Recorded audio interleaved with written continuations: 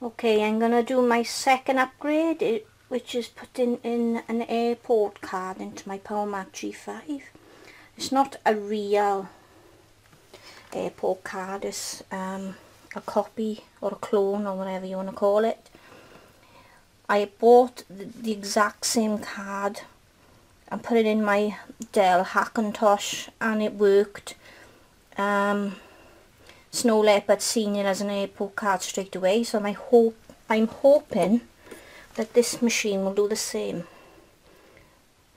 I've got the got the side panel off. I'm going to put the card in there now. Okay, the card is now in. I've just got to secure it with the screw and put the antenna on the back and we're good to go. As you can see, I've put the antenna on the back. I'm going to fire this up now and see if it's detected as an airport card. Okay, got my machine on. I'm just going to go to the system preferences and then click on network.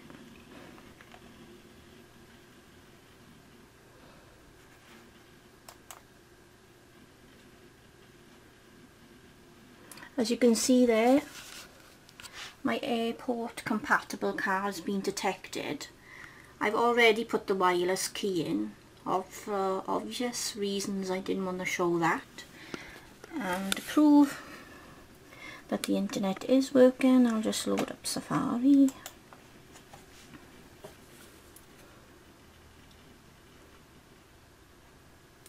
And as you can see Safari's loaded up which means that my Power Mac G5 is now online. Thanks for watching. Over and out